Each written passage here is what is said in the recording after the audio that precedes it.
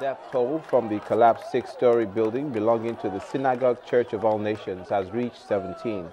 This figure is hotly agreed, or excuse me, jointly agreed by both the National Emergency Management Authority and the Lagos State Emergency Management Authority. They also say over 120 survivors have so far been rescued from the debris while rescue operations are still going on. It was a four-story building that they are trying to elevate to a six-story building. So it's both a mixture that they are they are using it and they are doing construction on it. And if you look around, you can still see some sand, granite, and some cement, and um, you can still see uh, um, some of the equipment used for construction. The operation is still ongoing.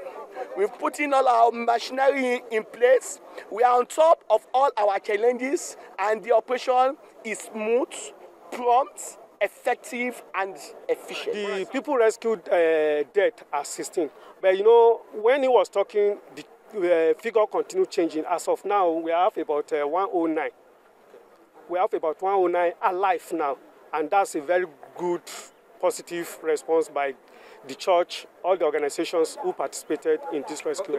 When you see different uh, nationals around here, we have a lot of information flowing around, and that's why we need, immediately when this happened, we called the church members, let us work to avoid rumor mingling around. But uh, initially, they didn't uh, understand what we were trying to arrive at. But now everything has been resolved, whether there are foreigners or not.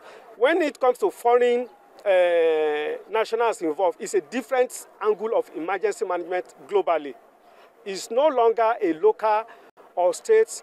It's going to be an international and national emergency response.